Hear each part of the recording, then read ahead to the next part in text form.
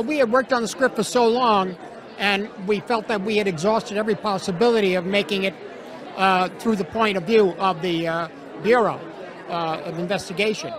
I'm talking about two and a half years of work on the script while we were doing other films. And um, myself and Leo came to the decision that the real heart of the story was through Molly, through Molly uh, Burkhart. And that means he shouldn't play, uh, uh, he shouldn't play Tom White, he should play Ernest. So we revised the entire script, and that took actually all the way through during shooting. I must say, um, having worked with Leo and Bob so often, both of them surprised me. I'm not being politic about it. Um, they slipped into uh, they slipped into a way of behaving that most people, good friends of ours who know Bob very well, when they saw the movie, didn't realize it was De Niro until 45 minutes into the film. Uh, Leo, I saw take his performance, take that character, and play every element, um, every variation you could think of uh, on that character um, that a human being could come up with uh, within the context of the story. And uh, so for me, it was extraordinary for both of them. Well, I think it's, uh, first of all, I'm always for the big screen. Uh, and secondly, that uh, in a way, this story was meant to be seen by people in a theater, an audience, and also a way of rethinking about who we are as a nation um, and who we are as human beings, you know. Uh, and so it's always important, I think, to um, try to deal with aspects of the truth as maybe as unpleasant as they may be. But because they're unpleasant doesn't mean they're going to go away. We came into this movie ignorant in a way. We, of course, knew the story, we all read the book, and we started doing our research. But it really uh, was the, the collaboration with the Osage people that made us understand what the story really was about and the stakes of it, because it's a, it's a culture that's very much alive.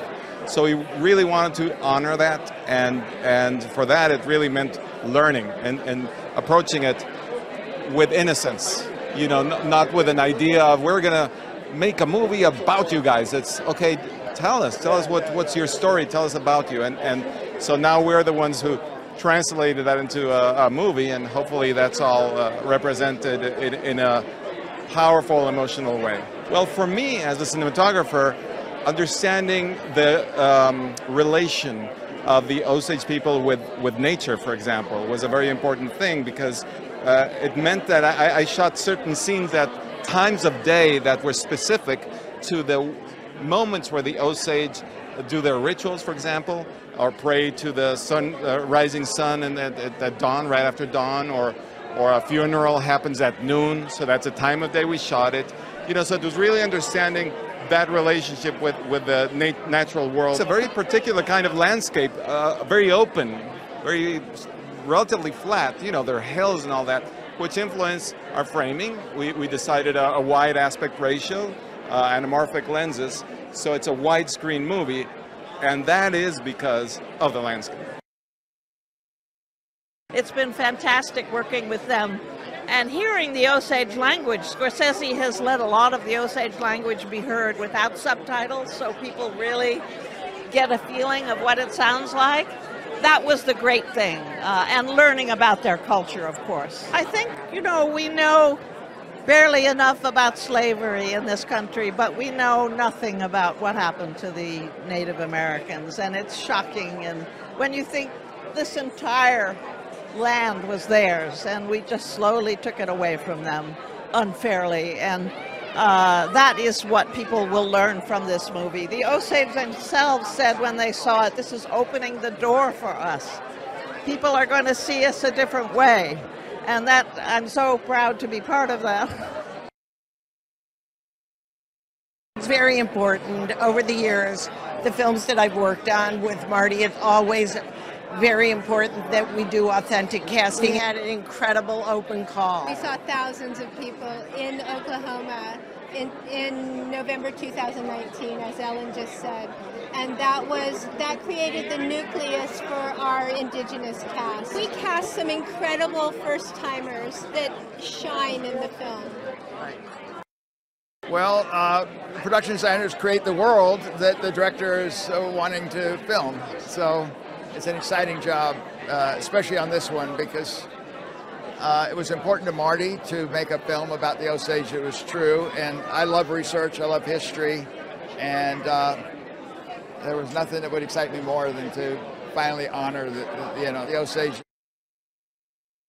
As a direct descendant of Henry Roan, it's extremely important, and I, I wish that my mom and my grandma could see this. Um, this is a story that has been not told for a hundred years, and we've always known it. And um, it took a Martin Scorsese to come along and properly handle it, and he did it justice. Very open communication. Any question he had about every step of the way, um, I think that was the biggest thing that he just let us all uh, give our input. Anytime he thought, does this sound right, Addie? I'm like, no. And if I didn't know, I'd say you might need to ask an elder. You know, I'm.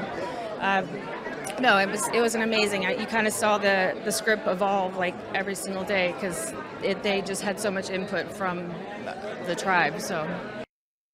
I've always felt that costume was the bridge from the actor to the character. People from the Osage Nation there started bringing me family photographs of people who this story is really about.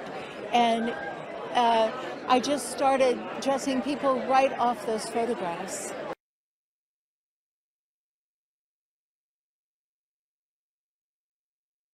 Well, I came on as the lead Osage wardrobe consultant, and so I worked with Jacqueline West, going through research pictures and then helping dress the principal actors at folding blankets and putting them in their clothing properly. It was so fabulous, and she's so generous. She's and she really, she really cares about authenticity, uh, which the entire movie did. And that is it's a wonderful thing to be a part of someone who allowed us to have our voice and to be true our, our authentic selves. You know most of our music our native music is uh, centuries old. And uh, a lot of our music is tied into uh, deeds that our ancestors did. And uh, some of it wasn't appropriate for this movie and so when we started to uh, think about it and what would fit in there um, me and a couple of my close friends, we uh, decided we would write our own song, sing, make our own song. I translated the script to Osage and I um, worked with the actors and coached the actors' language and I worked with them on the set. That was a lot of fun and really interesting. It's just part of our culture, and we're really working hard to bring our language back. Uh, we don't have uh, fluent speakers like we used to. So uh, our, we have a lot of young people. I'm a, I've been a high school teacher, and so and one of my several of my students are here actually.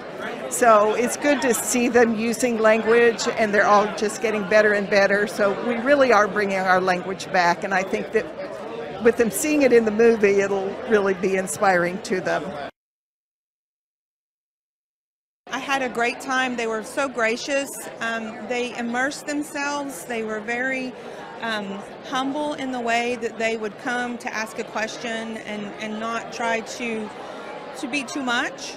And um, but at the same time, they took um, constructive criticism with much grace. When we first met, he came in, and the first thing he said was, "We're going to film here, among the Osage people." And right there, he took the, made a bold statement that really made us feel relaxed. And from there, he said, uh, yes, I'll take you up on the offer for, to talk to your language department, your, your culture department, and all our traditional leaders. He's talked to our community members. And it wasn't just one event, one dinner, it was a process. The spirit of, of cooperation and the spirit of a good future for us all became more and more present. Even now, today, here in New York City, you can feel this good spirit from this group, all the Osages. Uh, it's all a very positive force, which is what all of us need, including the Osage. We really appreciate what Apple and, and uh, Imperative, uh, Scorsese, Leonardo, all, uh, Robert De Niro, and let's not forget Lily, Lily, a Native American, she really did great throughout the whole movie. Feels amazing. I am just so grateful that Apple and Killers of Flower Moon reached out to me to be an ambassador of the Osage Nation.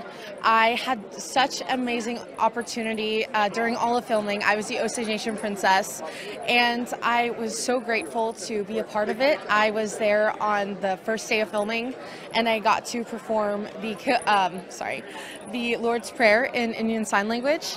Um, and then on the last day of filming, I was there for the um, the big dance scene, which was amazing. And I'm just I'm so grateful that it's here and it's alive and it's it's being said. I think the most important part was when Martin Scorsese, we held a dinner for Martin Scorsese, and he asked for our opinions and for kind of the path he wants the film to go in, and so he asked for our opinions and what our culture looks like, and I thought that was really, really good way to go in.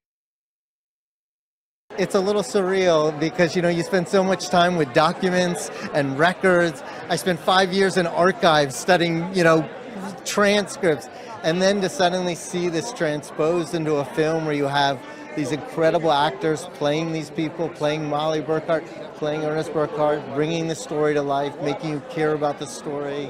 Um, you know, I couldn't ask for more. In some ways, I'm just a little bit like any other observer. You're just a little blown away by watching it happen. Well, this was a part of history that outside the Osage Nation for too long was erased from our consciousness. It's one of the worst racial injustices, one of the most sinister crimes to occur in this country.